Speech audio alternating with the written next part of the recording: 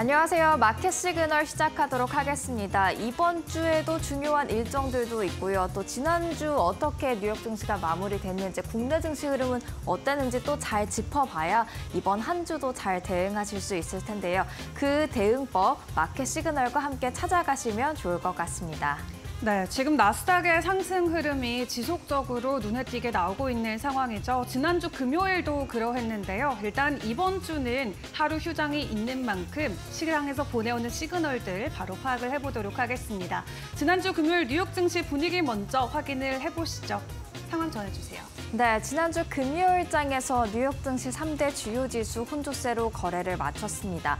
나스닥 같은 경우에는 소폭 계속해서 오름세 유지하면서 5거래일 연속 사상 최고치 기록에 나섰지만 다우존스 약세 흐름을 이어갔고요. S&P 500 지수도 소폭의 하락세로 전환하는 모습들이었습니다. 또 S&P 11개 섹터 중 3개만 제외하고 8개 섹터가 모두 하락을 했고요. 그리고 500가지 종목 중 360개 이상의 종목이 하락하는 하루였는데요. 그만큼 지금 인플레 둔화 시그널을 줬던 CPI, PPI가 발표된 이후 시장 상승세가 이어지자 일부 차익 실현에 나섰다라는 분석까지 나와 있습니다. 앞으로의 추이도 계속해서 지켜보셔야겠습니다. 그렇다면 금요일장의 히트맵을 통해서 분위기 어땠는지도 한번 확인을 해보도록 하겠습니다. 지금 상승과 하락, 의미하는 초록과 빨강이 지금 혼재돼 있는 듯한 모습들 나타나고 있는데요. 그럼에도 불구하고 이렇게 기술주 쪽에서는 그래도 초록불이, 강한 초록불이 곳곳에서 눈에 띄고 있습니다. 일단 시가총액 상위 종목부터 확인을 해보시죠. 마이크로소프트가 0.22% 강세로 마무리를 한 반면 애플의 상승세는 꺾였습니다. 0.82% 하락세로 마무리를 했죠. 그리고 이어서 보시면 엔비디아 1.75% 강세를 보였고요. 브로드컴 같은 경우에는 호실적에다가 주식 분할 소식까지 전하면서 상승세 이어가고 있습니다. 3.34% 강세를 보였습니다. 구글, 알파벳 같은 경우 0.92% 강세였고요. 메타도 강보합권에서 마감을 하긴 했습니다. 아마존은 약보합세를 나타냈고요. 테슬라 2.44% 하락을 했는데요. 지금 테슬라 주주총회에서 머스크의 보상안이 통과된 당일에는 주가가 올랐지만 다시 하루 만에 반락하는 모습들 나타났습니다. 아무래도 자율주행 사고 이슈가 부각되면서 주가가 하방 압력을 받은 점도 있을 것으로 보여집니다. 보여집니다. 이어서 금요일장의 특징주도 같이 살펴보도록 하겠습니다. 어도비가 14.51% 급등세를 연출을 해냈습니다. 지난 금요일장 마감 후에 실적을 발표했는데요. 후실적에다가 가이던스도 상향 조정하는 모습이 주주들의 긍정적인 반응을 이끌었습니다. 게다가 JP모건이 이 어도비에 대한 투자 의견을 중립에서 비중 확대로 한 단계 상향 조정했다라는 점도 주가의 호재로 작용했습니다. 이어서 살펴볼 두 번째 특징주 보잉이 되겠는데요. 1.9% 하락을 했습니다. 최근 보잉 이 항공기 안전 이슈로 좀 부정적인 영향을 많이 받았었는데 이번에도 미 연방 항공청 미 FAA가 인증서 위조 티타늄 관련 조사에 나섰다라는 분석에 지금 주가가 하방 압력을 받았습니다. 다만 이 인증서 위조 티타늄 관련 같은 경우에는 에어버스도 함께 연결돼 있다라는 이슈 함께 확인을 하시면 좋을 것 같습니다. 이어서 게임스톱 1.44% 하락을 했습니다. 지금 키스질, 이 게임스톱의 대장주, 대장 역할을 하고 있는 로어링 키티가 900만 주 이상을 보유하고 있다. 지분을 확대했다라는 소식에도 불구하고 주가가 계속해서 하방 압력을 받고 있는 듯한 모습 나타나고 있는데요.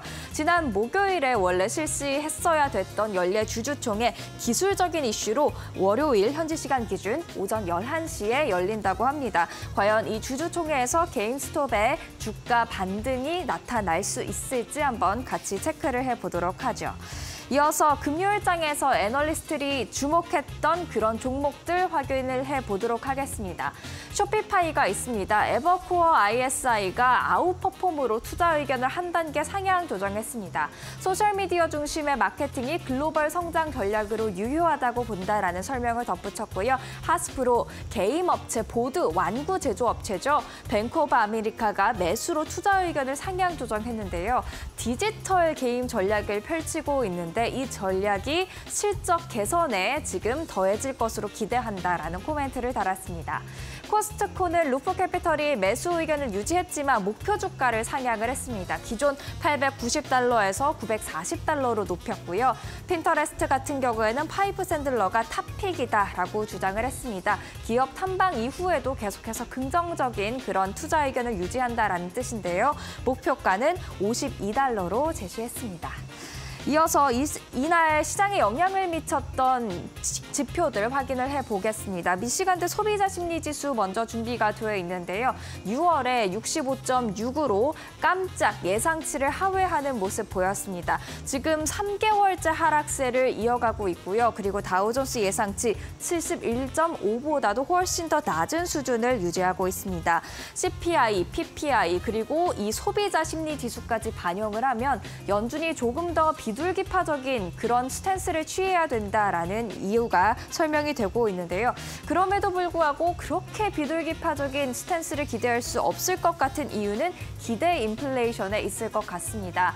미시간대가 같이 기대 인플레이션에 대한 설문조사도 결과를 공개를 했는데요. 1년 기대 인플레이션 3.3%로 지난 5월 수치와 크게 다를 바가 없었고요. 오히려 5년 기대 인플레이션 같은 경우에는 3% 에서 3.1%로 올라오는 모습들이 나타났습니다. 그렇다 보니까 이런 부분 기대 인플레이션이 여전히 연준의 목표치인 물가 상승률 2%보다 훨씬 높다라는 점 참고를 하셔야겠고요. 그렇다 보니까 연준 위원들의 발언을 살펴봐도 계속해서 지표를 지켜보겠다라는 뉘앙스의 그런 발언들 계속해서 나오고 있습니다. 한 3, 4개월 정도의 긍정적인 인플레이션 추이를 확인해야 금리 인하에 대한 확신을 얻을 수 있다라고 강조하고 있는 연준이 되겠습니다. 그럼에도 불구하고 월가에서는 S&P 500의 목표치를 계속해서 상향 조정 조정하고 있습니다. 골드만삭스 올해 들어서 벌써 세 번째 목표가 상향 조정이 되겠는데요. 기존 5,200에서 5,600으로 상향 조정했습니다. top 5의 기술주 강한 성장세가 EPS 전망치 하향 조정이라는 이런 부정적인 패턴을 좀 막았다. 그렇기 때문에 목표가 상향 조정했다라고 주장을 하는데요. 이런 mega cap top 5 기술주의 강세가 계속해서 이어진다면 6,300도 가능하다라는 그런 불리시한 전망까지 내놨습니다. 에버코어 ISI는 기존 4,750에서 6,000으로 훨씬 더 큰 폭의 상향 조정을 이뤄내는데요. 인플레이션 둔화 그리고 AI 열풍이 지수 상승을 견인할 것이다 라면서 목표가 상향 조정의 이유를 밝혔습니다. 꽤 약세론적인 입장을 주장했던 에버코어 ISI가 굉장히 강한 목표가 상승을 예상하고 있다는 점 그 부분에 주의를 주목을 하셔야겠습니다. 이어서 국제유가 살펴보도록 하겠습니다. 이날 WTI 소폭 하락하는 모습을 보이기는 했지만 주간 기준으로는 상승이었습니다. 4주 만에 상승 전환에 성공을 했는데요. 지금 3분기 여름철 수급 불균형에 대한 우려가 좀 작용을 하면서 지난주에는 주간 기준 오름세를 보이는 모습들이었습니다. 국제금값은 1.34% 강세였습니다. 금리 인하 기대감이 커지면서 금에 대한 매력이 다시 커지고 있는 것으로 보여집니다. 이어서 월가의 전략가들 만나보도록 하겠습니다.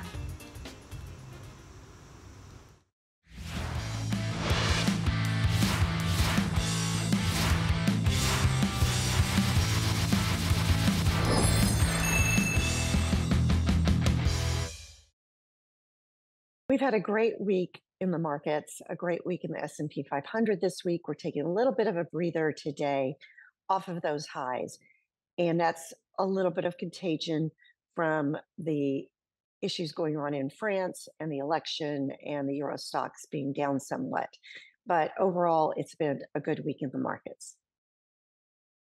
The consumer continues to be depressed about the US economy, and there's still a disconnect between the US consumer and their feelings about the economy and their spending. So they the consumer is still spending and they are still out there spending, maybe just not as much. And so sales are slowing down, consumer sentiment continues to be eroded away. What that's actually good for, though, is markets. Markets moving forward from a consumer being depressed and down and negative, that actually points to a higher stock market looking out six months and a year. So while the consumer may be disheartened, when we look at business owners, business owners are so positive about what they see moving forward for their businesses. And that's that is very important when it comes to uh, growth because so much of our US uh, depends on small business.